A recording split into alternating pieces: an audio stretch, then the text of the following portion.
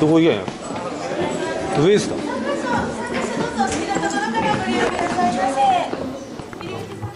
ドアが閉まります。ご注意ください。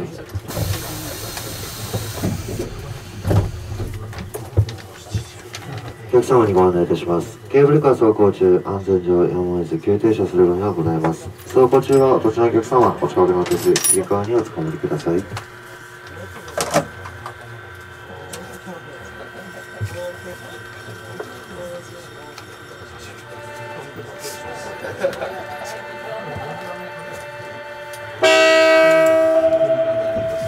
皆様大変お待たせしました。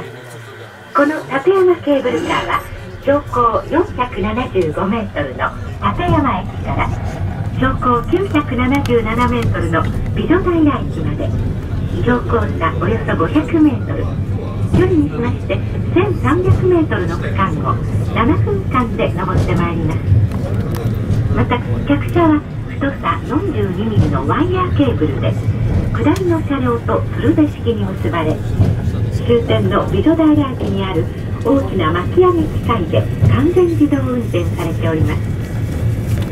乗車定員は乗員乗客合わせて121名。1時間あたり720名のお客様を運ぶことができます。